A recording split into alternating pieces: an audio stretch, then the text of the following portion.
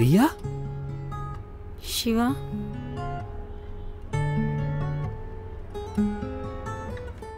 हाय शिवा कैसे हो? मैं ठीक हूँ। आप कैसे हो? मैं ठीक हूँ और नहीं भी शायद पता नहीं। मेरा घर का पता आपको मिला कैसे? कुछ साल पहले जैसे आप मिले थे मुझसे।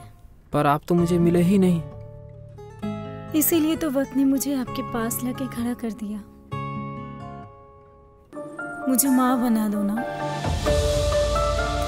तेरी बीवी कभी माँ नहीं बन सकती। क्या?